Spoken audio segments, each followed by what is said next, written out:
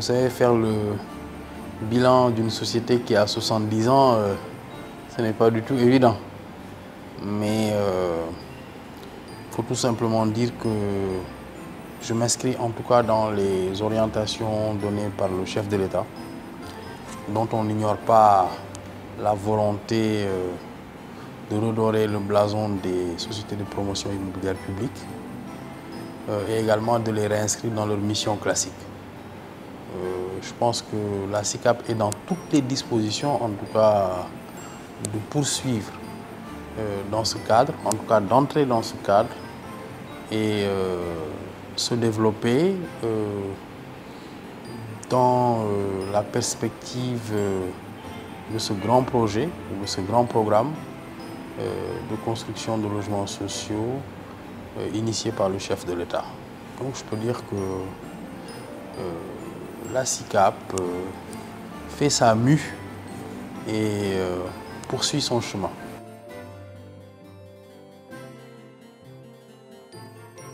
La SICAP se déploie dans le secteur depuis 1950.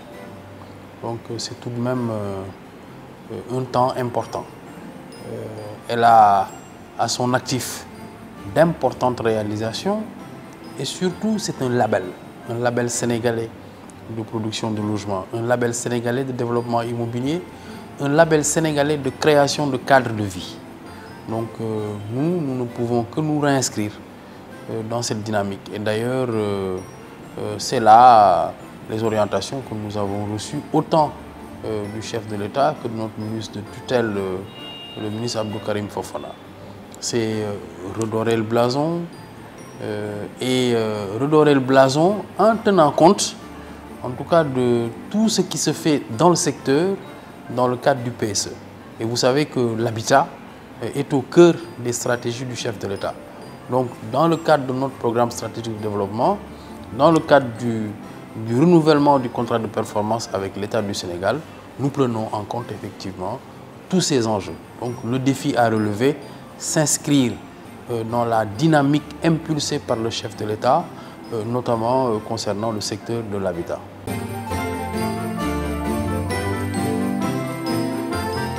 L'État aujourd'hui est en train, avec les promoteurs privés et publics, de créer un cadre propice à l'accélération de l'offre en habitat. Parce que justement, la demande, elle est bien là. Mais la, la demande, elle est diversifiée.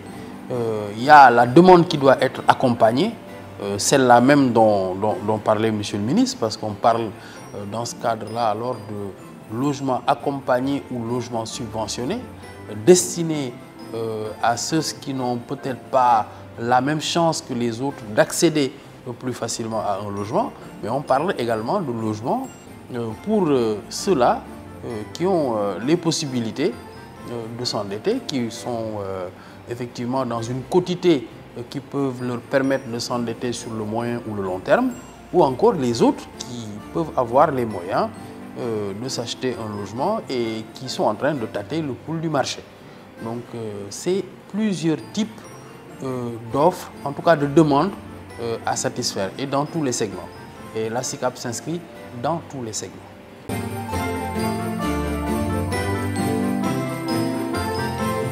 Ah ben, vous savez, le contrat, le contrat qui lie à la, à la SICAP au, au, Sénégalais, il suffit de, de, se balader sur les allées euh, euh, Babakarsi ou euh, de se balader à Rudis ou de regarder SICAP d'Arabis ou bien aller à Karak ou bien même regarder tout ce qui s'est fait autour de la VDN et de Sacré-Cœur, vous comprendrez que la SICAP est dans le cœur des Sénégalais, dans le cœur du développement, dans le cœur effectivement des communes aérées et qui aujourd'hui font la fierté des Dakarois et des Sénégalais. Vous avez parlé perspectives pour 2020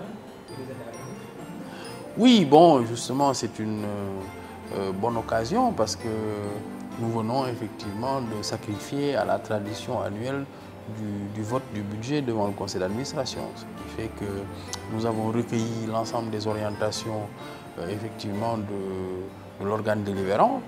Euh, nous avons présenté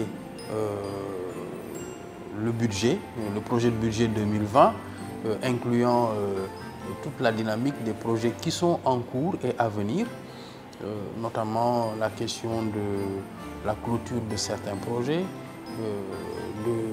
l'achèvement d'autres projets et du démarrage de, notre lot de projets. Dans le lot de, projets que nous avons en cours, effectivement, il y a la SICAP 10, que, un complexe de plusieurs immeubles qu'effectivement nous allons inaugurer dans le court terme. il y a également tous les projets que nous développons sur Kermassar, tant en termes de terrain viabilisé que de logement. Il y a le projet de, Grand Bao. il y a également le projet en gestation de Liberté 3, mais il y a aussi tous les projets de la Rose et de la phase 3 de Mbao Villeneuve. Mais nous pensons également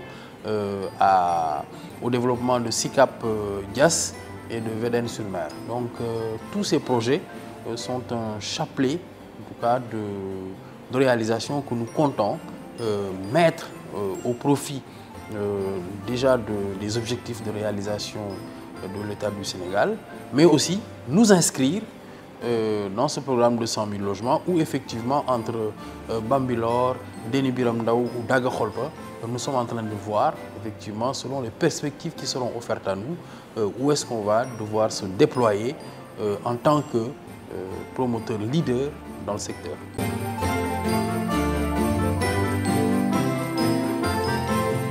J'appartiens à un parti, j'appartiens à une coalition. Et j'ai l'habitude de le dire, mais en tout cas, ma conviction est que lorsque l'on s'inscrit dans, un, dans une mouvance, il, faut,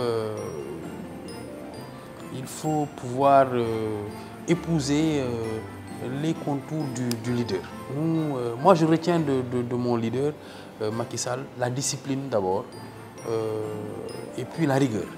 Et effectivement, cette discipline, moi je dis que c'est ce qui m'anime, la discipline de parti. moi, j'ai des ambitions, comme tous les hommes politiques, parce que nous avons à cœur, effectivement, de participer au développement de nos différents terroirs.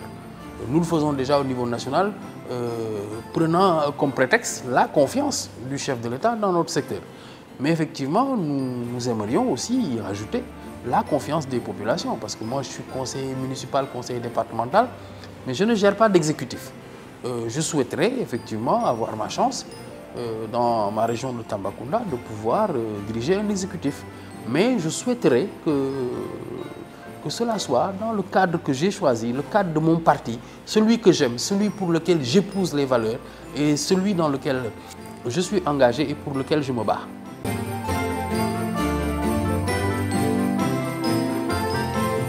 Bon, il y a toujours un sentiment de fierté quand on sent que de toute façon nous sommes en train d'aller vers des choses qui sont d'abord souhaitées par les populations, donc bien portées aussi par nos élus, nos chefs d'État.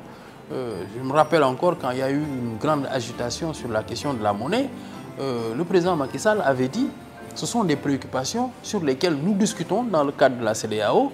Et aujourd'hui, l'histoire lui donne raison. parce qu'on avait bien crié, oui, bon, voilà, vous, ne pensez pas à notre souveraineté. En, fait, ce n'est que la résultante de discussions qui avaient été engagées depuis. Parce qu'il y a eu un compagnonnage. vous savez, je ne suis pas un spécialiste de la monnaie. Mais tout le monde peut être spécialiste de la logique. il y a eu un compagnonnage entre nos États et la France on peut porter le jugement que l'on veut, mais la réalité est ce qu'elle était. C'est-à-dire qu'un certain nombre de nos réserves étaient gardées au Trésor français. Bon, je pense que vous avez bien entendu ce qui a été dit là-dessus et écrit, et également relayé par les spécialistes. Je pense qu'il y a des avancées notoires. Maintenant, les gens doivent réfléchir pour évoluer sur les modes opératoires, notamment la prise en main par la Banque centrale, quels sont les États qui vont être engagés dans cela, quelle va être le mode de, dévolution, quelle est la parité, quel est le poids logique de, notre monnaie, comment ça va s'opérer, est-ce que, effectivement, tenant compte déjà du, des éléments d'intégration économique au niveau sous-régional, moi je pense qu'il y a là, en tout cas, des raisons d'être fiers euh, de nos élus des raisons d'être fiers de ce que nous avons réalisé depuis des années.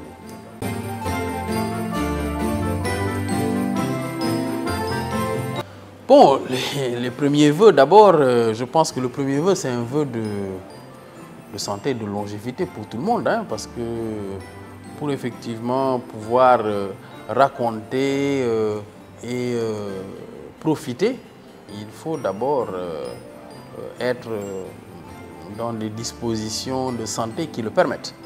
Donc euh, nos premiers vœux euh, à, tous les Sénégalais sont des vœux de, santé. Bon, la deuxième, c'est euh, tout de même mon, deuxième vœu, c'est d'abord de voir le président réussir davantage ce qu'il a engagé depuis 2012 et pour lequel nous sommes très très fiers. Au départ du PSE, il y avait des objectifs d'atteindre une certaine croissance. Nous avons vu que cette croissance a été soutenue dans le temps.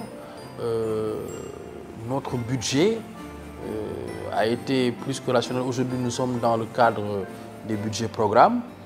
Euh, nous avons vu qu'effectivement, il a eu la confiance à nouveau des citoyens sénégalais et il œuvre, en tout cas au quotidien, à mettre notre pays dans les rampes de, l'émergence. Et tous les agrégats euh, économiques, effectivement, à l'appréciation, euh, permettent de voir qu'à ce niveau-là, il y a d'énormes, d'énormes évolutions qui ont, qui ont été faites. Euh, le troisième vœu, c'est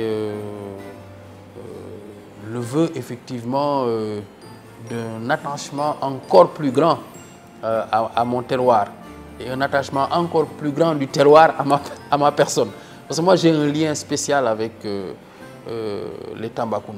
Donc euh, j'aimerais que ce lien, par le biais euh, du parti auquel euh, j'appartiens, la majorité présidentielle, l'Alliance pour la République, que ce lien soit encore plus fort et puisse déboucher sur un lien qui me permettra davantage de rendre des services à mon terroir, de me mettre à son service.